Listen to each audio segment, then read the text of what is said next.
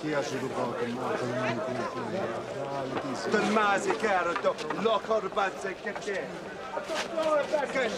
Ho fatto ricercare But woe unto you, scribes and Pharisees, hypocrites! For ye shut up the kingdom of heaven against men.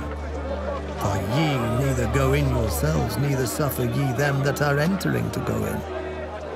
Woe unto you, scribes and Pharisees, hypocrites!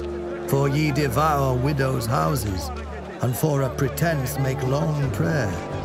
Therefore ye shall receive the greater damnation. Woe unto you, scribes and Pharisees, hypocrites!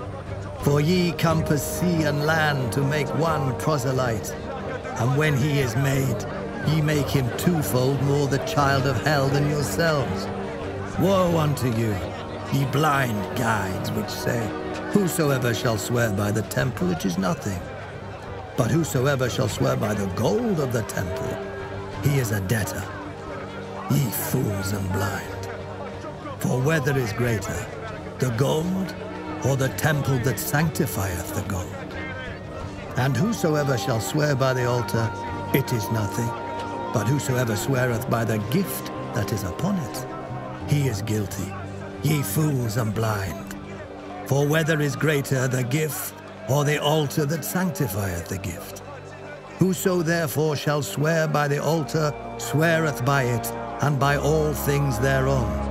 And whoso shall swear by the temple sweareth by it, and by him that dwelleth therein. And he that shall swear by heaven sweareth by the throne of God, and by him that sitteth thereon. Woe unto you, scribes and Pharisees, hypocrites! For ye pay tithe of mint and anise and cumin, and have omitted the weightier matters of the law, judgment, mercy, and faith. These ought ye to have done, and not to leave the other undone. Ye blind guides, which strain at a gnat and swallow a camel. Woe unto you, scribes and Pharisees, hypocrites! For ye make clean the outside of the cup and of the platter, but within they are full of extortion and excess. Thou blind Pharisee, cleanse first that which is within the cup and platter, that the outside of them may be clean also. Woe unto you, scribes and Pharisees, hypocrites!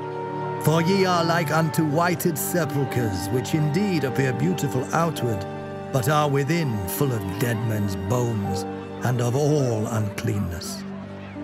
Even so ye also outwardly appear righteous unto men, but within ye are full of hypocrisy and iniquity.